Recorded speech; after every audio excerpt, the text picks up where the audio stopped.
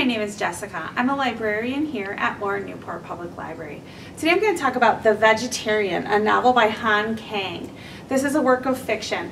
This book just won the Man Booker Prize for International Fiction for 2016, um, and it's very well deserved in my opinion. It's translated from Korean, and I can't believe it's so well done. It's just beautifully written.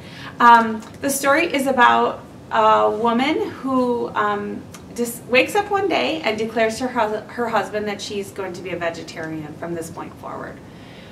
Her husband thinks that's a little odd, but you know, it's nothing that out of the ordinary. But as time goes on, he realizes that this uh, it's really more uh, anorexia than it is vegetarianism. She slowly stops eating at all.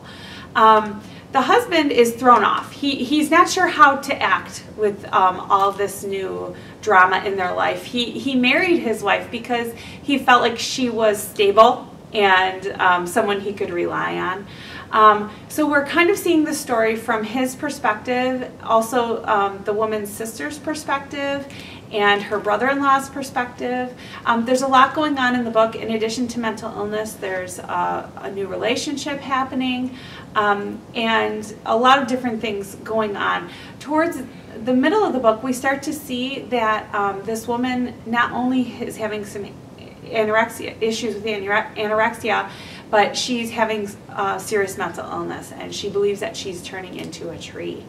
The book itself is interesting, it's haunting, it's compelling.